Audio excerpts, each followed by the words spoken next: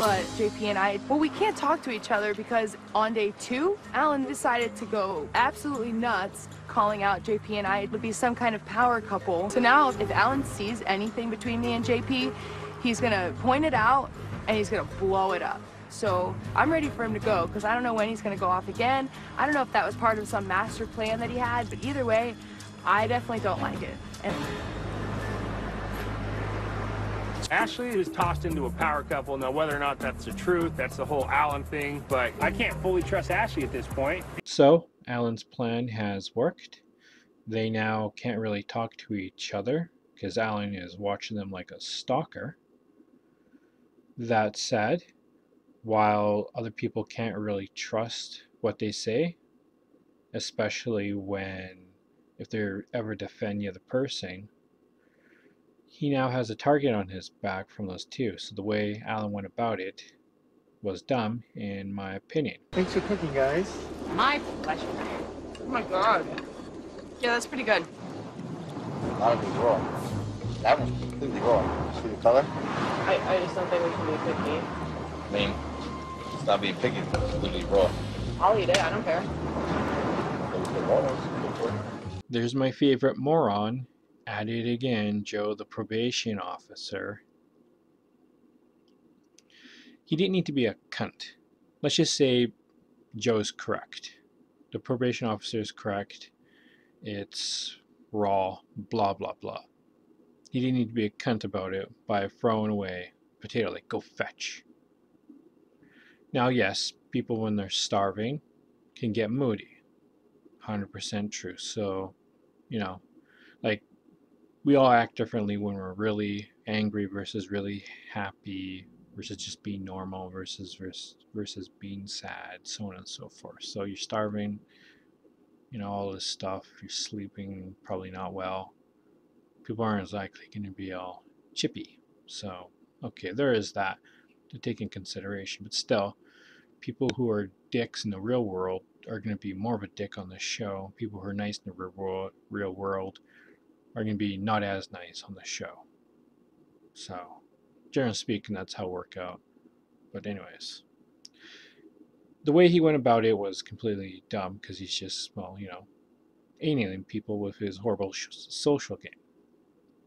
You know, sure, he could have said at the time, oh, this is raw, this is how you cook potatoes. But some people can be offended by that when you tell them something, especially how you, you say it, like, this is raw, you fucking idiot, versus, oh, hey, this this is how you cook a potato, you know, some people can be offended by it.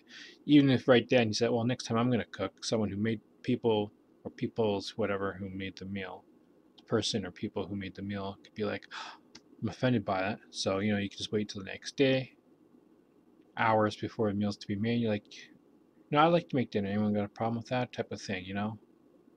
And then, you know, people who made previous meal, unless they're like, I'm always going to be making the meal, you know, they shouldn't be offended by that. You know, it's how you go about doing things, but you can still get the same results. Or you can get results going about a different way. You know, blah, blah, blah. Like, could you please get me a sandwich? Could you please make me a sandwich? Make me a fucking sandwich. Then there's just, make me a fucking sandwich. Please is better than just saying it and then add swears or attitude or whatever else shit. So that's what the fuck I'm trying to say is better ways he could have went about it. But there goes that probation officer who isn't going to win the game. She's looking out for my best interest, and I'm looking out for hers as well. I don't want your name to be next, or my name to be next. But Ali telling me to cool it is difficult because it takes away from my personality. I may not be able to create relationships if I'm not being me. Don't dwell on it, it's over. Can't change the past. Look toward the future. You learn, though. Learn from it. Taken away from your personality? Correct. But you do not have a winning personality. That's why she's telling you to cool it. It is worth the last healer! Stand on each other's shoulders. Hold my leg. Healer's my doing leg. a nice job. Hold Hero's my leg. doing a nice job. Healer's work. Chrissy is up on the shoulders of the Some people are comfortable with their bodies, some people aren't. Some people are nudist, some people are really conservative bodies never show anything off. That really made sense. Just like you can be comfortable body but not a nudist to you let everything show. What the fuck was I was trying to say how there's variance between you can be comfortable with your body but doesn't mean you want to be naked and stuff like that. You know, the old days of swimming clothes, like women had these long black things where they wore outfits like was in the 50s and stuff like that. I think maybe up to the 70s as well. You know, too much skin, you can't show too much skin. Eventually bikinis became a thing to then be in your underwear, it's the same thing, right? Blah blah blah. So Survivor. While you can be comfortable with your body, that's fine. Nothing wrong with that. Why do it on Survivor? Why wear skimpy barely wear anything. Guys do it too. Wear anything at all. Now, for a nudist, you know, they can, like Richard Hatch did it, but, you know, run around naked, you don't care that your bits are showing. TV blurs it out, but you don't care, right?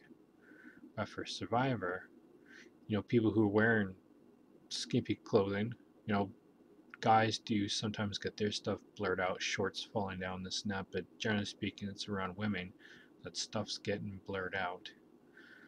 Um, sometimes when they blur out a woman's, uh, I guess, on her knees, hands and knees crawling or something, the back's blurred out, but it's not the butt area. I wonder, hmm, is it just shown too much or did something get out of place? Nonetheless, you know, if you wore more clothing, you would have to worry about that because it's like, okay, these people who are comfortable showing their bodies off, which is fine, but then when stuff gets misplaced, you know, it gets blurred, and then you always see them as they're running, trying to put stuff back in place. But it's like, well, obviously you're like 90% comfortable showing your body off, but you're not 100% comfortable showing your body off like a nudist would be. So it's like, Therefore, my question is okay, well, you're on Survivor. It's different to be on a beach and be on Survivor where you're running around doing all sorts of stuff, activities where stuff's gonna get out of place. And watch seasons in the past Survivor, there's always people, stuff being blurred out because there's cameras everywhere. So, to avoid stuff, because if something pops out of place, you should be like, eh, whatever, just leave it as you don't care, right? Yeah, I'll fix it later type of thing. You know, but obviously you're self-conscious enough you don't want certain parts showing, so to prevent that, wear clothing. I mean, you don't want to wear heavy clothing, especially because you do water stuff, that'll just weigh you down. But fuck, I'm saying you can wear stuff that's just not so like that. Applies for guys too, shorts that don't stay up, but whatever.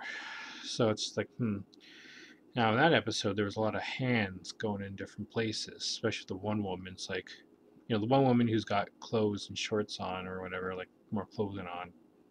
Didn't show any clips of her being not molested, but, you know.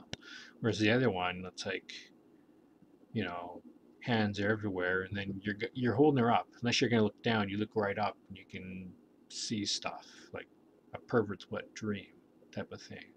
Just be wearing a skirt, and there you go, right? adds more excitement to the pervert. So, I mean, I don't know. It's just this is a thought I had. Like, more stuff's getting out of place, and oh, because the one woman she had her ass grabbed, goes ah, makes a little sound. She kind of thought was funny, and then trying to stand up. One guy had his hand and it was like going up, and almost like going to like he's trying to but it looks like it's going to like go to the crotch, goes off to the side. So I don't, I assume they're not trying to be pervy. It's just because you're in a competition and you're a rush. So you just grab this, grab that. Here, there you go. You don't care where you touch, right? But whatever. Well, you're trying to comfort me when I've never believed a redhead in a day in my life. And Jeff, I will say, tonight, one of us is going to be blindsided. I can say that. You're right. Somebody will be blindsided. Lauren. One vote Patrick, one vote Lauren. Patrick. That's two votes Patrick, one vote Lauren. Third person voted out a survivor. Patrick. That's three. That's enough. Need to bring me a torch.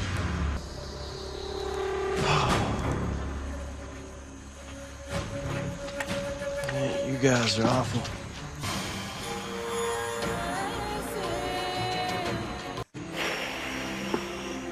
Yeah, this is the worst thing I've ever felt. I had no idea it was coming. I had total trust with Ryan, Devon, and Ali. I hope you guys don't have a very successful game because you're liars, and um, it really hurts me that you would not keep your word. It's too early in the game for me to leave, and this has been devastating. It's been devastating to watch your ass. Thank God you're gone. First, he's like, when the woman's like, one of us can get blindsided. He's like, yeah, one of us can get blindsided. So, like, even if he's never watched Survivor before in his life, he should have been like, wait a minute. I mean, I could be blindsided? So he fucking knew this is what happens in the game. And he's like, oh, you didn't keep your word. Oh, they're all treacherous. They're all bad and all this stuff. I have a winning personality. And, you know, some people lack self-awareness. Some people have really good self-awareness. Some people have, eh, okay self-awareness. He's oblivious to his own behavior. So that's why his social game is horrible. Because he's oblivious to his what he's doing. It's stupid. And then, on top of that, being a sore loser, I hope none of you do well. Like, I can understand if someone screws you over, you know, and you feel, uh, you know, fuck you and all that stuff. Like, I get that, but still, at the end of the day, no matter how just you feel, like, you know, fuck you, I don't want you to win a million dollar prize, it still makes you a sore loser that they got you out. It's Survivor. It's not, let's all hold hands together. It's Survivor. Survival of the fittest. You slit each other's throats. It's like in the Hunger Games, where that one movie where, you know, a bunch of, you know, they work together. There's one of them, I think they've all been that way, actually. You know, they all group up, or some people group with this one, this one. Once everyone else is gone, then they turn on each other and slit each other's throats. Well, that's Survivor for you. Without to death. And all, yeah, without to death. But pretty much, and beasts, I guess, and other interesting stuff happens there, but that's enough of me talking.